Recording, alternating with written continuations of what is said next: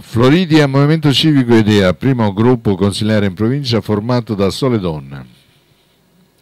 Elena Leotta, Barbara Di Mauro, Giusy Garofolo e Marieva eh, Paparella. I volti femminili dell'amministrazione del Floridia, guidata dal sindaco Marco Carianni, hanno scelto di costituire un nuovo gruppo all'interno del Consiglio Comunale. Il primo tra i civici consessi dei 21 comuni della provincia siracusana a essere formato solo da donne nel corso dell'ultima assemblea di IDEA, movimento politico nato nei mesi scorsi e già radicatosi a livello provinciale e regionale, le quattro consigliere comunali hanno scelto di aderire al nuovo progetto e creare il gruppo. Occorre rimettere al centro la forza e l'energia delle donne, ha detto Tiziano Spada, coordinatore provinciale di IDEA.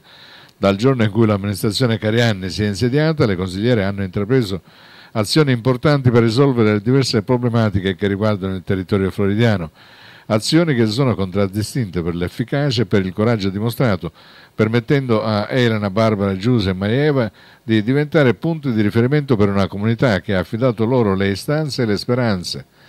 Vogliamo sfatare il mito per cui la politica debba essere appannaggio di soli uomini mettendo al centro le donne.